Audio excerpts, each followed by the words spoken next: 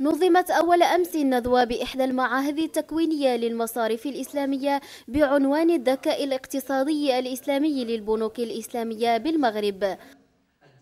الدكتور عبد الله الشرقاوي ألقى هذه المحاضرة بهدف النهوض بالاقتصاد الإسلامي وتوسيع دائرة محيطه الاجتماعي لواقع تطور العقود المالية في الفقه الإسلامي بالمغرب.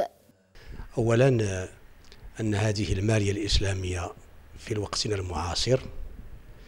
نحتاج فيها إلى أمرين أساسيين. بل أقول تحتاج هذه المالية في زمننا هذا إلى أمرين أساسيين.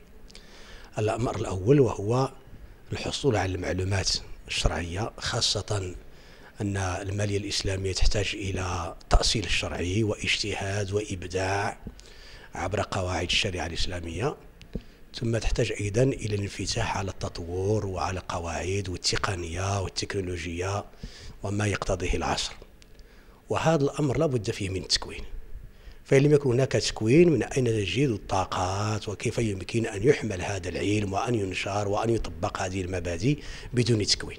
إذا فالتكوين مفروض بسبب واقعية المالية الإسلامية أنه تحتاج إلى تأصيل شرعي وتحتاج إلى أطور يمارسون هذه المهنة ولهم كفاءات عالية. البلدان التي تكون فيها قوانين منظمة لهذه المالية وتسمح بالمنافسة المتنوعة للصرافة فإنها تدخل أيضا أبناك سواء كانت أبناك تنتمي للإسلام سابقا للمرجعية الإسلامية أو أبناك يمكن أن تتبنى هذه المرجعية وهذه المعايير وهذه المبادئ وتطبقها لا مانع.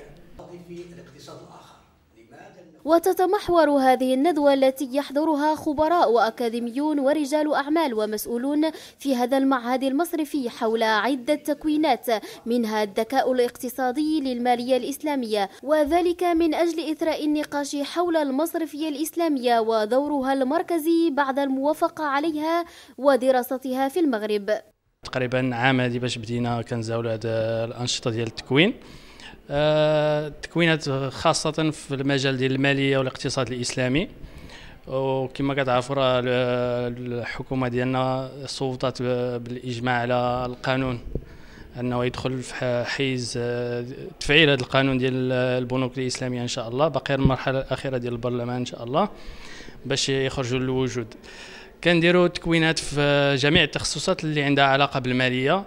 كالمبادئ الأساسية كنبداو بها هذه الأولى. كاين كل ما يتعلق بالبنوك الإسلامية والفرق مع البنوك التقليدية. كاين كل ما يتعلق بالتكافل اللي هو تأمين الإسلامي. الدور ديالنا هو أننا التكوين آه، ما ما ما ما دخلنا لهذا المجال إلا وحنا عندنا واحد القناعة مسبقة أن آه، إن شاء الله المشروع في المغرب غيكون ناجح. وهذه زعما كاع المؤشرات كتقول أن السوق المغربيه إن شاء الله غت غتفاعل ايجابيا مع هذا الدخول ديال هذه البنوك الإسلامية إن شاء الله.